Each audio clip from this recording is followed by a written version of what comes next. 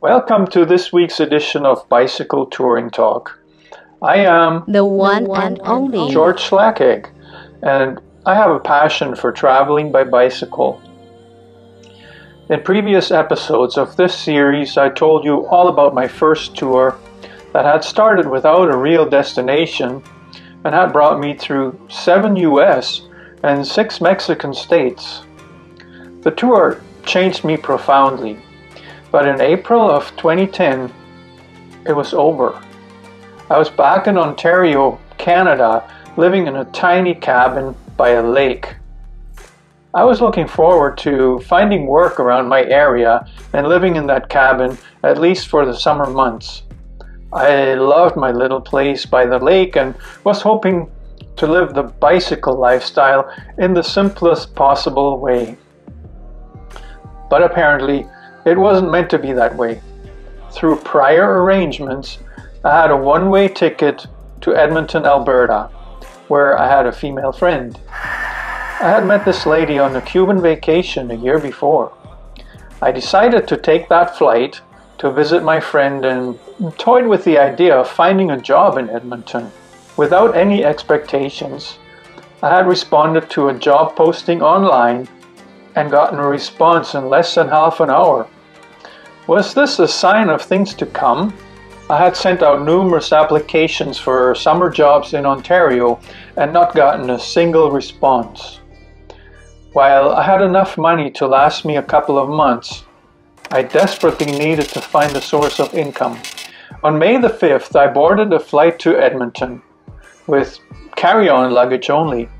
I had no idea if and how I was going to return to Ontario. I remember that day very clearly. It was a beautiful spring day in southern Ontario, but when I got off that plane in Edmonton, it was a snowy winter day. To me, this was another trip, exciting and probably temporary, quite in line with destinations are fake. A week later, I had a job. My friend, I'll call her Helen, had become my girlfriend, and we were apartment hunting together. If that seems a little hasty, well, it was. We both needed a place to live, as her apartment was a subsidized unit for a limited time. The relationship was turbulent, to put it into one word. It lasted about six months, after which I packed my bags and moved out without telling Helen where I was going. The woman I had had a huge crush on had turned out to be mentally unstable. She was struggling with addictions and it had affected me. After briefly considering a return to Ontario, I rented an apartment on my own for the first time in my life. It was closer to my job with the home medical equipment supplier. This job gave me stability and a much needed income. I had no money to speak of the following winter, but managed to negotiate enough time off from my job, unpaid, to return to Cancun for five weeks, where I volunteered at a hostel in exchange for food and a bed.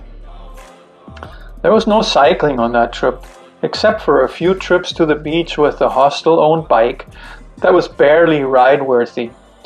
The owner of the hostel had asked me to do some repairs on his two bikes, but there were no tools, so this didn't get very far.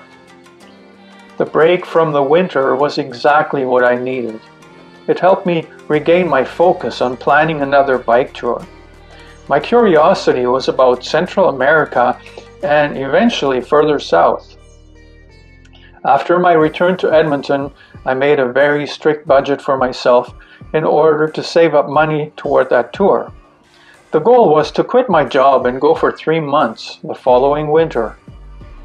I did very well saving money, even with a limited income, until April of 2011. Tax time.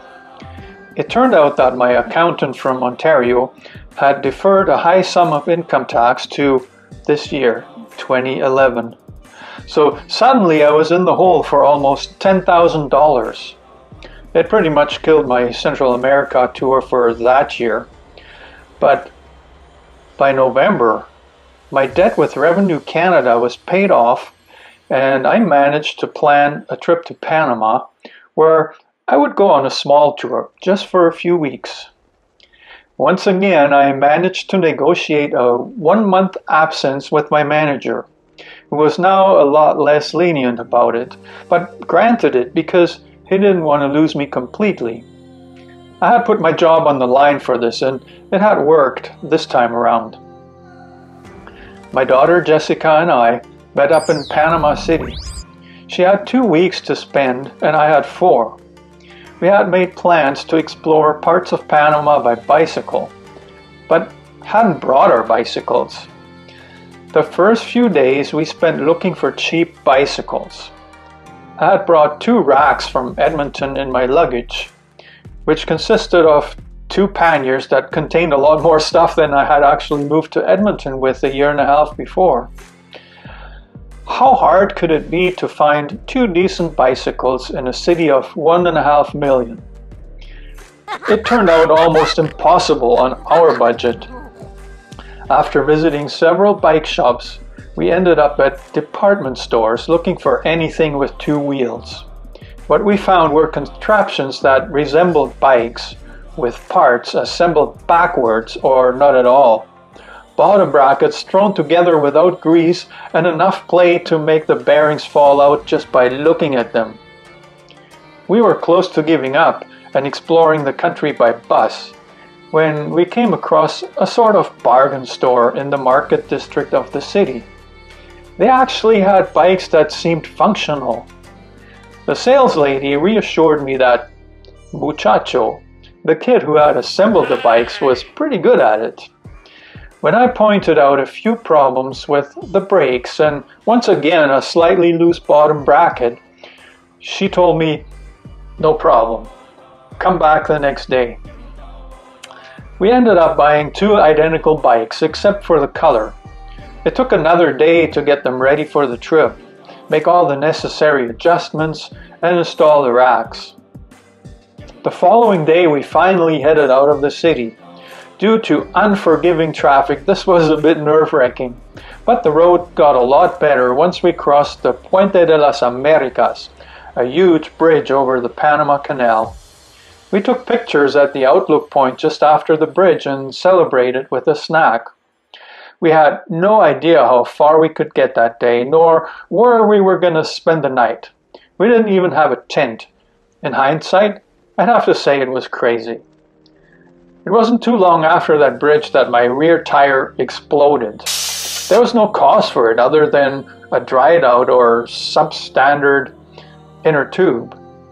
Had a patch kit on me, but the tube was beyond repair, so we ended up pushing the bikes on the shoulder of the Pan American Highway, not sure how far we'd have to go like that.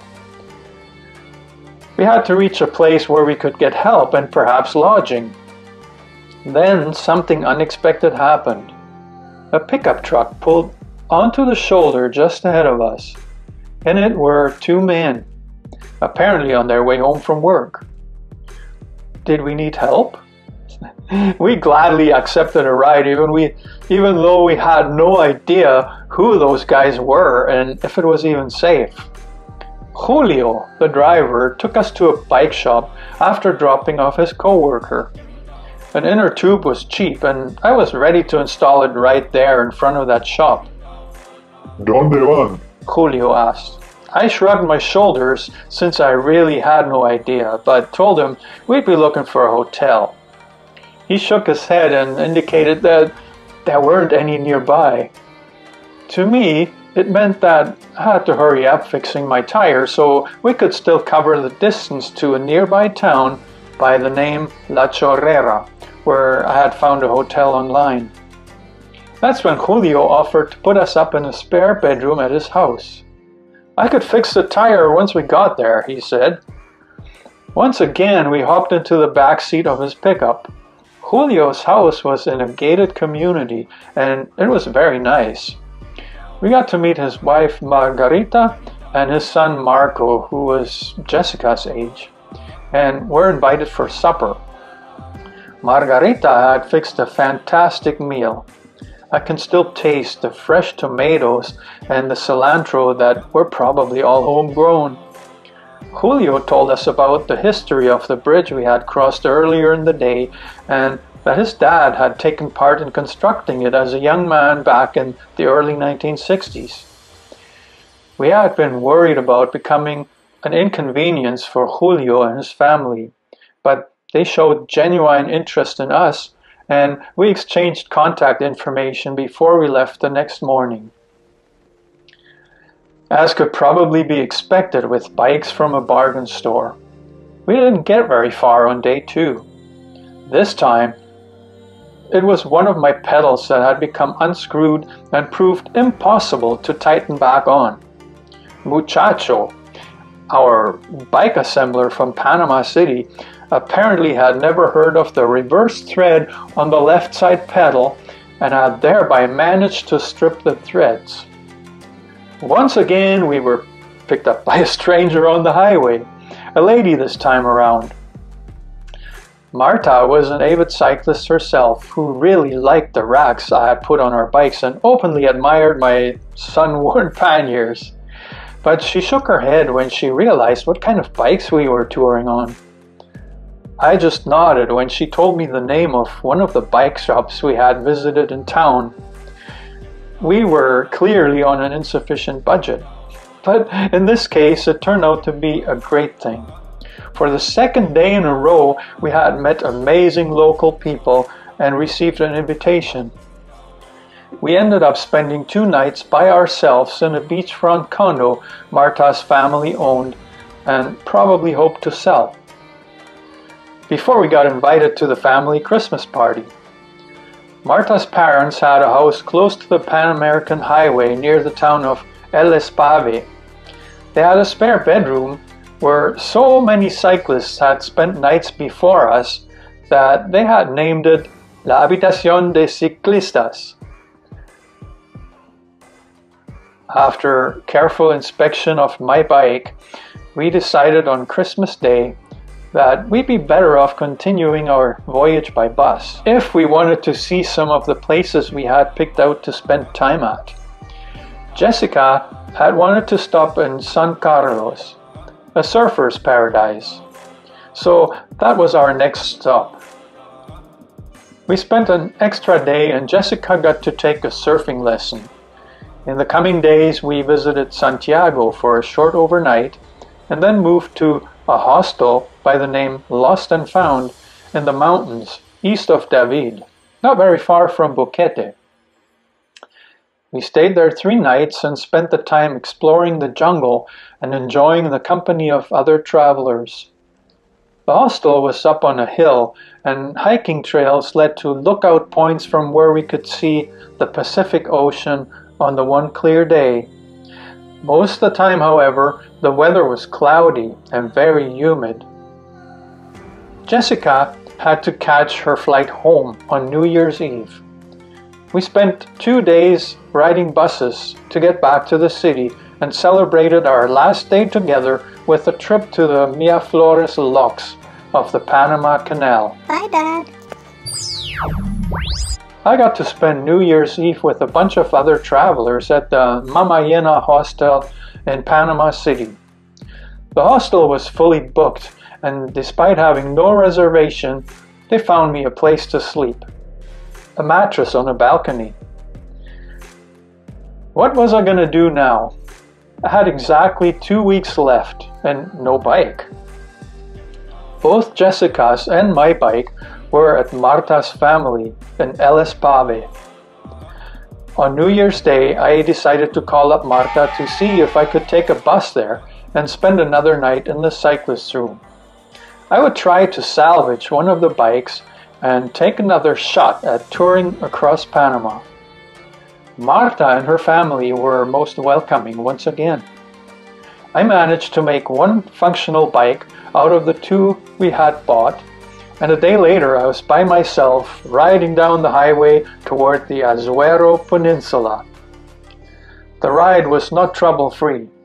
It turned out that the tires on those bicycles were of a very low quality, My rear tire was completely bald and needed replacement after only about 200 kilometers.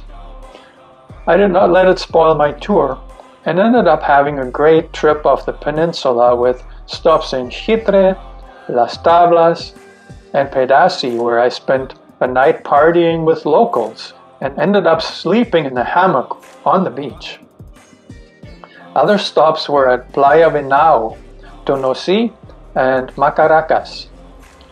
It was in Macaracas where I had to start thinking about my return to the city.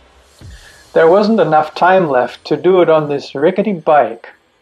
I had bent the big sprocket on the freewheel trying to make it up the mountains between Tonosí and Macaracas, so I couldn't even be sure if this bike would take me all the way back. Amazingly, though, I managed to sell it to someone local after telling him about my tour and how I had ridden it here all the way from Panama City. $50 seemed like a good deal, and it was more than enough to bring me back to Panama on an express bus and spend another night at a hostel before catching my flight back home. It was a rude awakening to arrive in Edmonton in the middle of January. The temperature was in the minus 25 degree range and snow was blowing around everywhere. It wasn't even late at night when I landed, but the daylight had already faded. It took forever to get back to my apartment using public transportation. I was due to show up for work the very next morning at 8 o'clock. It was one of the few times in my life when I still had a sunburn while getting frostbite on my fingers and toes on my bike ride to work. The winter of 2012 seemed long, but it had started a couple of weeks late for me. I had already made a commitment. It was about living on a tight budget for the entire year to finally turn my dream of a Central America tour into reality a lot of things changed for me again in 2012. I'll tell you all about the obstacles I had to face that year and how my commitment got tested to the max. Ultimately, anyone can go on a bicycle tour as long as he or she wants it badly enough. In a world full of demands, a commitment can change or be postponed in a heartbeat. I was a single guy in an exciting city full of beautiful women and a lot of them single and lonely. At times, it got very difficult to stick to my commitment. But that was only one of the challenges to overcome. Or perhaps not.